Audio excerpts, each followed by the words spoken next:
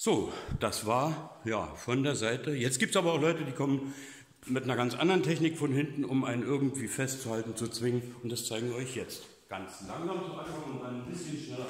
Aber das tut ich meine sowas hier. Achtung, kleinen Moment noch nicht. Wenn jemand sogar gegen die Kehle drückt, dann wird es ganz böse. Also wenn ich jetzt richtig zuziehen würde, hätte Jens einen richtig Schmerzen. Das will ich jetzt nicht. So, wir zeigen langsam. Was tun? Er hat dann Schmerzen. Okay. Okay, gut. Wenn du auf den Beton knallst, ist es dann natürlich Ja, nicht mehr so lustig. nicht mehr so lustig für den. Gut. So, nochmal. Zack. Und ab geht er. Kann ich das mal probieren?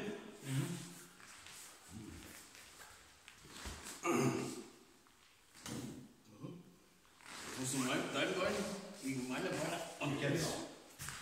Das lässt sich lernen.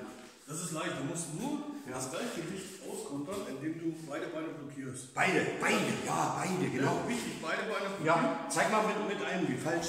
Wenn, nee, Wenn du nur eins, das ist- Dann kann ich nämlich so machen. Schwierig, dann kann Ja. man sich drehen. Da kann man habe ich sich- beide Beine Ja, blockiert dann ist vorbei. und ich stehe ja so. Ja, Dann ist es für mich leichter. Also, zeigen es nochmal. Ganz langsam. Ich greife den jetzt. Und beide Beine. Und dann geht er. Dann geht er. Jetzt gucken wir es uns mal an.